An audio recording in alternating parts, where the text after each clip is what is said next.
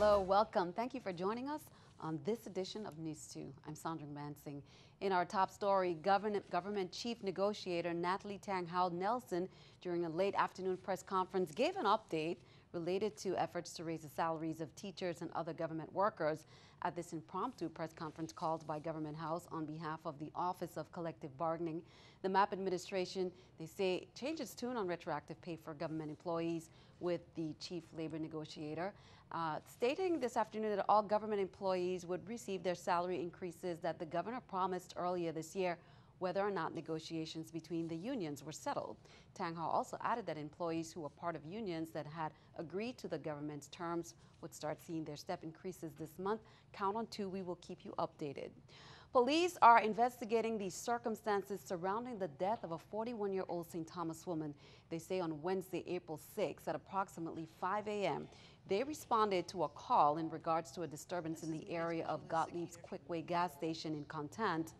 As they arrived on the scene, they found 41-year-old Lakeitha Toya Crabtree of Contant Knoll, St. Thomas.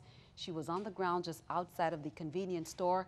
Crabtree was bleeding from the head with abrasions about her body. They examined and transported the victim to the Schneider Regional Medical Center for attention, and then she expired en route. Here's more. This is Media Specialist Sakita Freeman here at the Virgin Islands Police Department. And basically, on Wednesday morning around 5 a.m., we had an incident where a young lady actually passed away, sadly. But the police officers did their job by restraining the victim when she was having erratic behavior towards customers and civilians at the gas station. The police officers that arrived on the scene actually found the victim already bleeding from a prior altercation that occurred with one of the individuals individuals that just came to Gottlieb's gas station trying to buy some gas or food from inside the gas station. The victim was also throwing gas glass bottles and and being very erratic and aggressive towards everyone that was trying to enter the gas station. She was trying to also enter um, civilians' cars as they were passing by the area and on their way to the hospital after retrieving the suspect at the time, who's now deceased she passed away in the ambulance en route to the hospital. You may also contact the Criminal Investigation Bureau at 714 9801 if you were a bystander at the scene of the incident now, police say they did have some footage that they were able to uh, go over that was provided by Gottlieb's. Anyone having information about this crime may contact the Virgin Islands Police Department at 340-774-2111, the Criminal Investigation Bureau 712-6024, extension 556. You can also call Crime Stoppers USVI at 1-800-222-8477. Here's an update. We reported in March earlier this year that four Corrections Bureau officers, Wahida Ali, 32, Abdul Robinson, 38, Patrick Richards, 41, Eustace Roper, 51, they were arrested after the U.S. Attorney's Office filed complaints charging all defendants with varying counts of providing contraband in prison, promoting dangerous prison contraband, and conflict of interest. Now, a fifth officer accused of smuggling contraband into the prison has been charged in federal court following a multi-year investigation. Kalomi Kambui is accused of nine charges in a complaint including providing contraband in prison, promoting dangerous prison contraband, and conflict of interest. She's also accused of attempted possession of a controlled substance. Counted to, to keep you updated. Governor Kenneth Mapp has approved tax benefits for a medical laboratory and three financial services firms. He recently signed off on agreements reached by the VI Economic Development Authority with Castle Medical, CD Paradise Holdings, Alpha Mortgage Advisors, and Prosperitas Holdings. As part of that deal, all four companies must make charitable contributions and provide benefits for their employees to include health insurance, paid leave, retirement plans, and tuition reimbursement. They each must also pay 2,500 annually toward maintaining the Department of Labor's database of Virgin Islanders living abroad who desire to move back home if they can obtain suitable employment. Miss Riviera is an Oceania-class cruise ship, the newest of the company's two Oceania-class ships owned by Oceania Cruises, which is a subsidiary of Norwegian Cruise Lines. They made a stop in the VI. And the West Indian Company welcomed the passengers and crew on Wednesday with a traditional plaque ceremony. WICO's president and CEO, Joseph Boschulte, presented Captain Gianmario Sanguinetti with a commemorative plaque and a VI flag and other gifts. This is the first of two chartered Miss Riviera cruises from Miami that include stops in the Dominican Republic, St. Thomas, and Puerto Rico for the 1,250 passenger ship and its 800 crew members. Virgin Islands Port Authorities says the next scheduled cruise ship visit in Frederiksted at the Ann Abramson Pier will be on Sunday, April 10th by the Adventure of the Seas. And officials say, according to the old website, there was an indication of one on Saturday, but not so. The new cruise ship schedule may be downloaded from VIPA's website. VIPA officials remind you to keep in mind these schedules can change at any time. Meanwhile, the Virgin Islands Port Authority's Executive Director, Viper, Carlton Dowe, invites residents of the Bournefield Housing Community on St. Thomas to a public meeting to have an open discussion about the Port Authority's plans for Bournefield. The meeting will be held on Tuesday, April 19th in the VIPA Administrative Buildings Conference Room at 6 p.m. Dowe said that he has also invited the executive director of the VI Housing Authority, Mr. Robert Graham, to speak with the residents about a future housing development that the Bournefield residents may be interested in. The meeting is open to the public. The unveiling of Morning Glory Ridge is coming up on Monday on St. Croix. It's the newest home ownership community located at Estate Mount Pleasant. The VI Housing Authority, the Housing Finance Authority, is inviting you to come out, hear the plans, tour the site, and learn more about the available lots. We are inviting all interested first-time home buyers to an unveiling ceremony on Monday, April 11 at 11 o'clock a.m. We will also continue to be on site from 1 o'clock to 3 p.m. so you can come out and select a lot, meet our contractors that will be on site with designs for two and three bedroom units, or maybe you just even want to purchase a lot that you can actually go on site and select a lot on that day. Turn our attention overseas. Officials believe a series of new arrests in Brussels today may include suspects involved in the recent terrorist attacks in Brussels, as well as last year's attacks in Paris.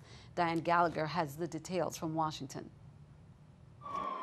A breakthrough in Belgium, several terror related arrests, including, according to the prosecutor's office, Mohamed Abrini, a known suspect from the Paris terror attacks that killed 130 people in November. Now, these are pictures from a gas station surveillance video of Abrini taken two days before those attacks. Police say that he drove there with Salah Abdeslam, the other Paris attack suspect who was arrested in Belgium last month, just days before the Brussels attacks. The timing of Abdeslam's arrest and those bombings, just one reason security experts say police there should be on high alert. Every one of their intelligence, particularly their human intelligence agencies, should not be sleeping at night because that's the way they're going to find and predict future attacks.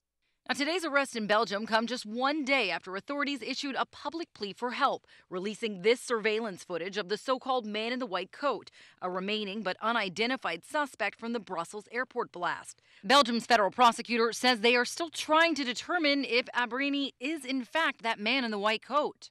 Another man, Osama Krayem, was arrested Friday. He's believed to also have connections to the Brussels bombings.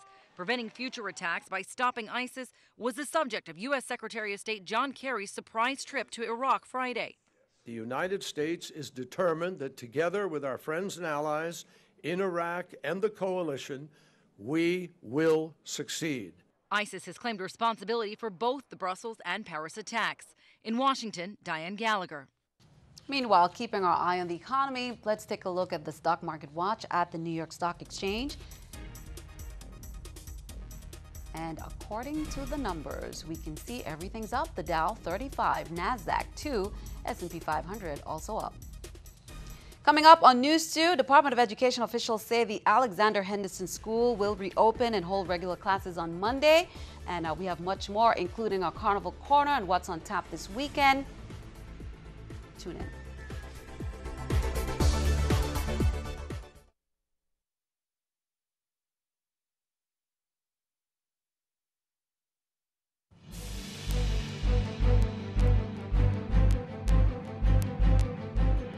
Welcome back. Department of Education officials say the Alexander Henderson Elementary School will reopen and hold regular classes on Monday, April 11th, following a temporary closure from April 1st to the 10th.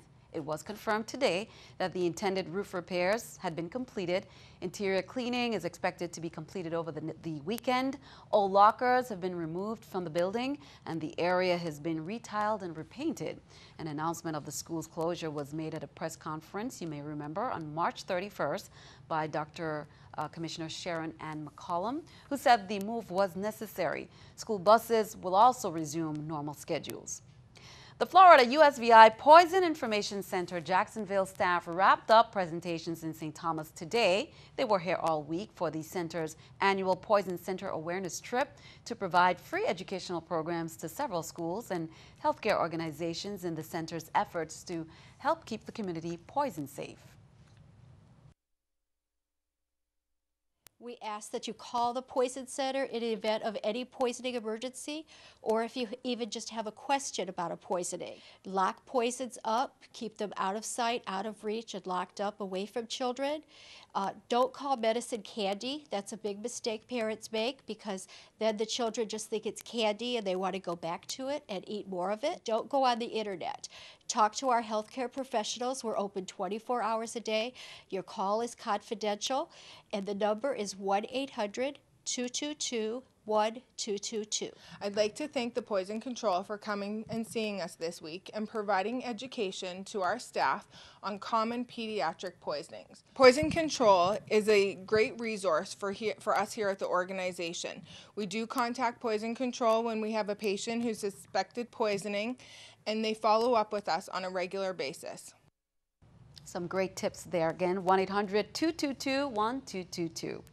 Lionel Jacobs has been nominated by Governor Mapp to serve on the Waste Management Authority Board of Directors for the District of St. Croix. The term of appointment is three years. Mr. Jacobs, a trained architect, has worked as a designer and construction manager on numerous projects throughout the territory. He formerly served as an urban planner with the Department of Planning and Natural Resources and more recently as the Director of Planning and Construction at the Virgin Islands Housing Finance Authority. Jacobs is presently a part of the local hospitality industry as a co-owner of Arawak Bay, the inn at Salt River. His appointment must be confirmed by the legislature. Well, in accordance with Title I, Chapter 11, Section 188 of the VI Code, April 7th is Cyril Emmanuel King Day, and a ceremony commemorating his birthday was held Thursday at St. Croix Kings Hill Cemetery. Hosted by Senator Positive Nelson, the ceremony featured Central High School ROTC and students from Ricardo Richard School reading aloud from Governor King's autobiography. We are gathered here this morning for the purpose of acknowledging, paying homage, reverence, respect, and appreciation for the service of an honorable and righteous man. In 1969, he became acting governor for four months after Governor Ralph M. Paiewonsky's resignation was accepted by President Richard M. Nixon. In 1972, he was elected to the Virgin Islands Senate from the District of St. Thomas, St. John, a position he held until his election. Job well done there by the students. Well, St. Thomas Carnival and St. Croix Ironman competition is coming up, and in light of this, Seaborne Airlines has announced that additional flights have been added to their schedule in support. Additional flights will be added on May 1st, 2016. All flights will be on the seaplane downtown to downtown operation. The Twin Otter seaplane operates with two pilots and two engines for safety. 14 flights are planned for addition to that schedule, a total of 196 extra seats. Additional flights may be added if operations they say allows and traffic needs surpasses this increase. You can go on the website or call for more information on the schedule. Speaking of Carnival, St. Thomas's Carnival celebration has kicked off and it continues until April 30th. Again, the theme this year is Nothing is More Fabulous than Carnival in St. Thomas. This Sunday, April 10th, is the Princess Selection Show at the Lionel Roberts Stadium at 5 p.m. The contestants are Paris Chen of Yvonne Milliner Bowsky, Layla Evelyn of All Saints Cathedral, Khalees Gums of Calvary Christian, Sienna Jackson of Gladys Abraham, and Denasia Todman of Ulla Muller. And all the best of luck to the young contestants. And then, of course, next weekend, it's the Queen Selection Show. Now, the Department of Public Works advises the public that the Fort Christian parking lot will be closed for Carnival, and that's effective 6 p.m. on Sunday, April 11th. All vehicles must vacate the parking lot no later than 9 p.m., or they will be towed at the owner's expense. DPW apologizes for any inconvenience. You can contact the Fort Christian parking lot office at 340 774 7046 for any questions. The parking lot is scheduled to reopen for public parking after the carnival celebrations Monday, May 9th at 7 a.m.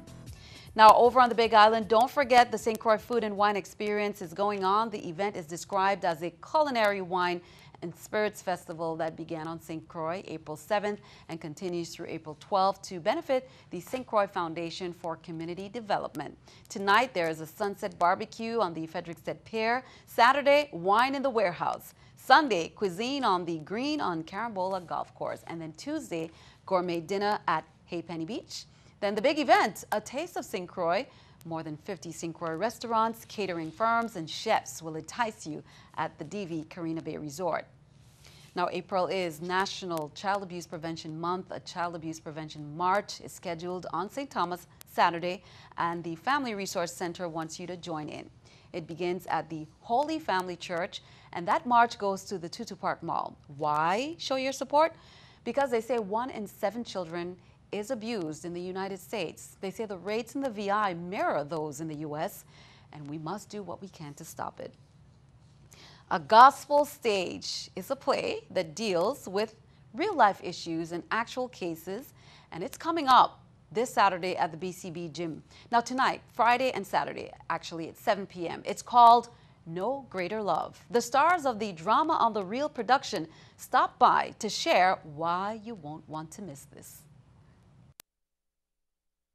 We're super excited to bring the gospel stage play No Greater Love to St. Thomas.